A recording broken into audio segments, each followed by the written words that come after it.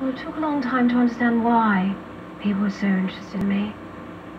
But I assumed it was because my husband had done a lot of wonderful work leading up to our marriage.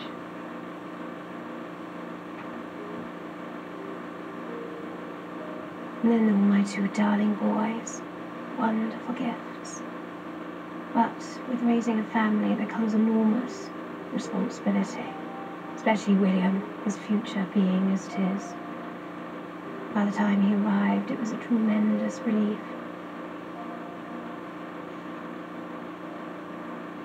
Because it was all peaceful again.